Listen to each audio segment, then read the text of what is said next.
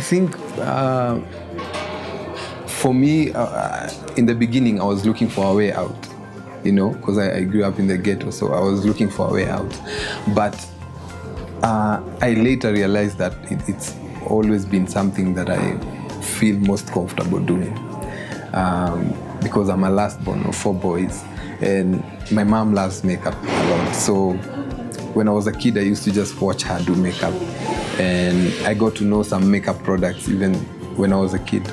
So I think it's, it, it was just meant to be this way, I would say. Made myself known as a makeup artist for the past maybe three or four years. Uh, because the beginning uh, was very tough. You know, a lot of free jobs, a lot of um, uh, people calling you uh, for work in the name of exposure and stuff like that. Um, not getting jobs because you're not known. So yeah, it was really tough.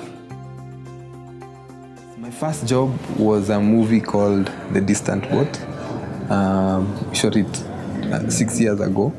Uh, it was a Christian movie, and that's when I got uh, my first interaction with uh, movie makeup.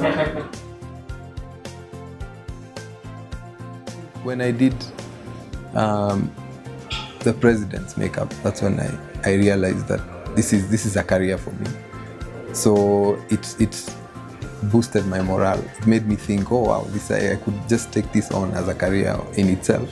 So you know, having that mindset automatically makes you work harder and, and focus more on what you're doing. So I think it's a ripple effect.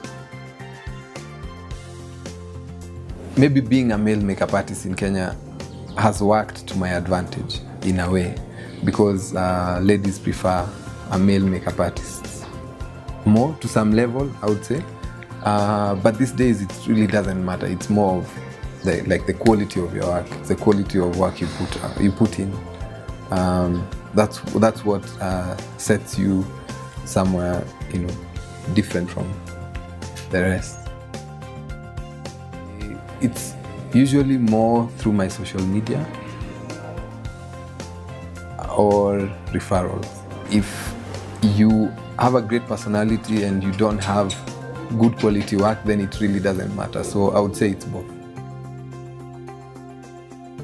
I would say I love uh, telling African stories with makeup. So whenever there's a movie and um, we are telling a, an African story, then for me it's very personal. And if I'm shooting a, a dance video or a fashion video, I want to make it African. I want I want us to own it. I want I want it to have an African feel. So that's that's what inspires me to to to to work and to create more ideas. At first, no one really buys a crazy idea if you want to venture into something else that is, is, is, is not uh, what people expect you to venture into. Then not so many people would buy the idea. So at first, they were not receptive. But after maybe sharing the success stories and, and what my makeup is doing and, and uh, what impact maybe some of my projects have made, then they they started accepting and they they really love and support what I do.